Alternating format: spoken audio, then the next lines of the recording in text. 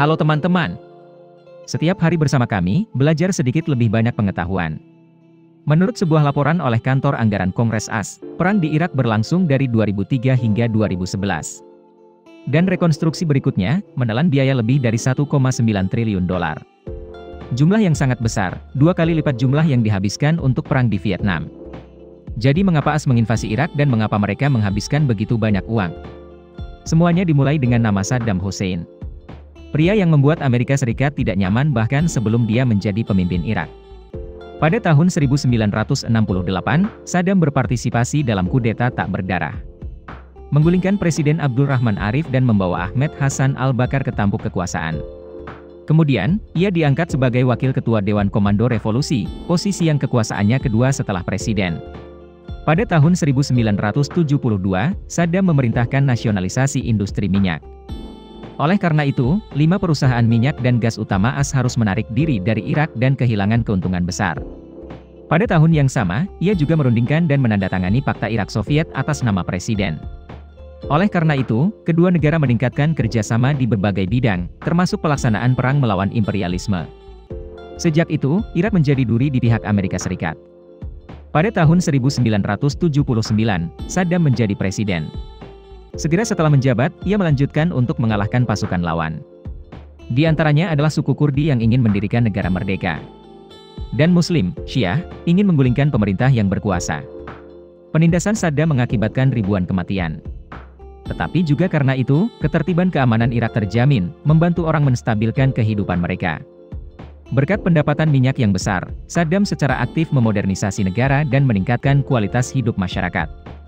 Pada saat yang sama, pemerintahnya juga meningkatkan belanja pertahanan, memperkuat militer untuk mempertahankan kekuasaan. Dari tahun 1980 hingga 1988, perang pecah antara Irak dan Iran karena sengketa wilayah di dekat perbatasan. Amerika Serikat menonjol untuk diuntungkan. Dari memasok senjata ke Irak, dan menjual banyak senjata ke Iran.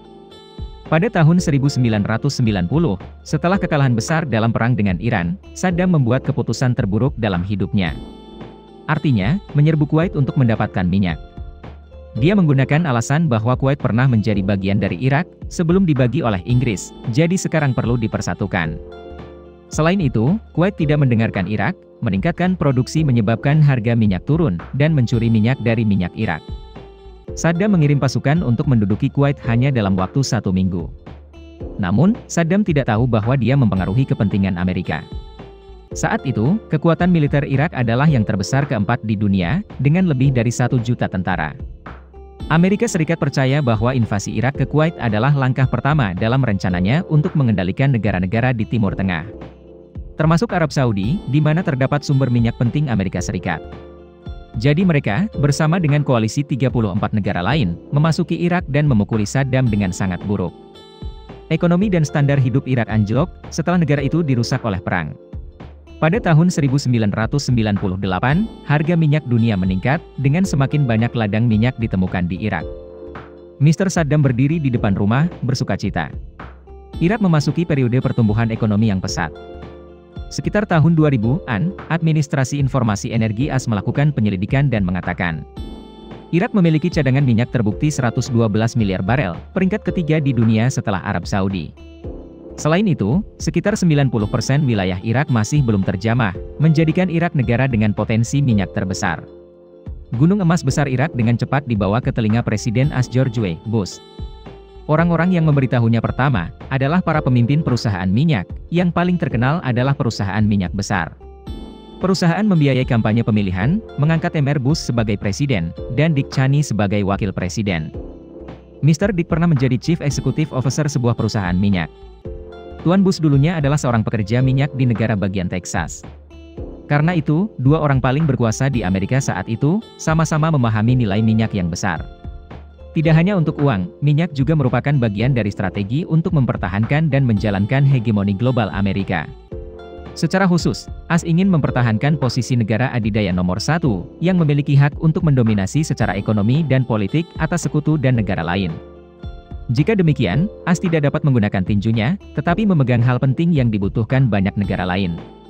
Karena itu, Kongres AS telah berulang kali membahas, bagaimana memiliki cadangan minyak yang cukup besar, dan Timur Tengah adalah tujuan mereka. Semua negara dengan minyak paling banyak berada di sini.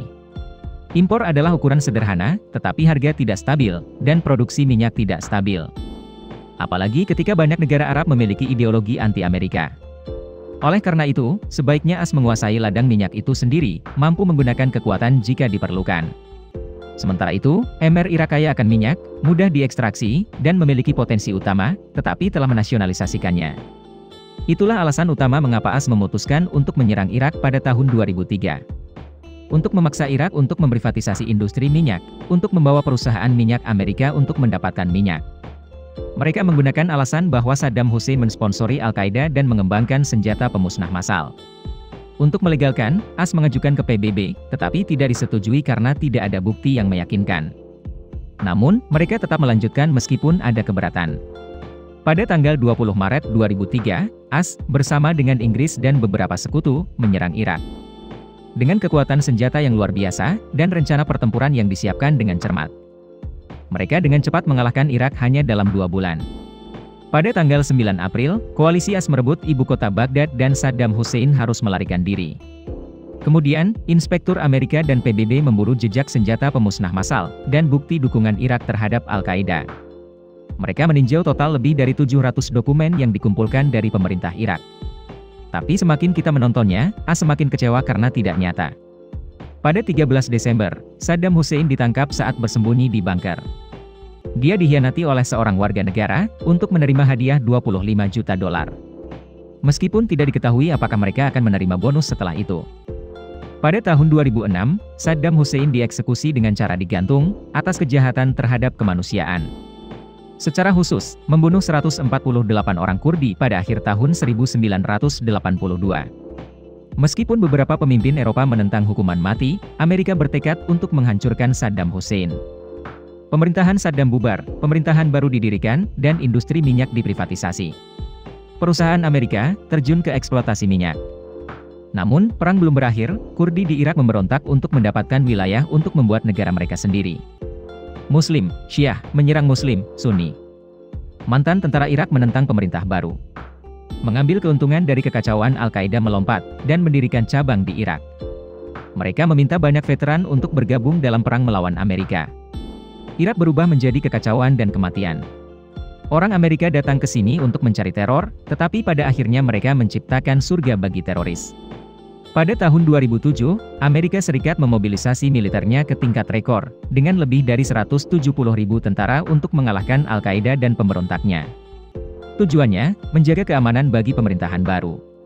Dalam empat tahun, Amerika telah menghabiskan ratusan miliar dolar untuk perang. Dan melakukan pemusnahan besar-besaran. Pada tahun 2011 lebih dari satu juta warga Irak telah terbunuh. Pada dasarnya, keamanan Irak untuk sementara stabil. Pasukan pemerintah, yang dibangun oleh AS, yakin mereka dapat mengendalikan situasi. Oleh karena itu, AS memutuskan untuk menarik pasukannya.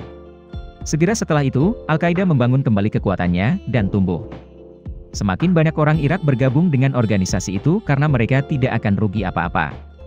Pada tahun 2014, Al-Qaeda berkembang ke Suriah dan mengubah namanya menjadi Negara Islam Irak dan Suriah, atau disingkat ISIS organisasi itu dengan cepat mengalahkan pasukan pemerintah Irak.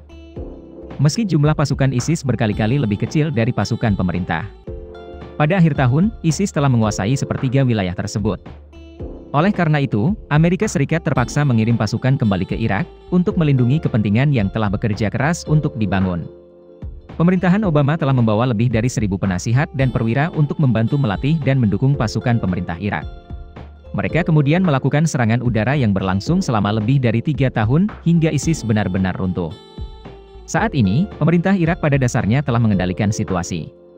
Meski serangan teroris masih sering terjadi, seiring dengan konflik etnis dan sektarian. Meskipun Amerika Serikat kehilangan banyak nyawa dan hampir 2 triliun dolar, dan menerima banyak kritik dari dunia. Namun pada akhirnya Amerika Serikat mencapai tujuannya, yaitu menguasai ladang minyak penting Irak. Video berakhir di sini.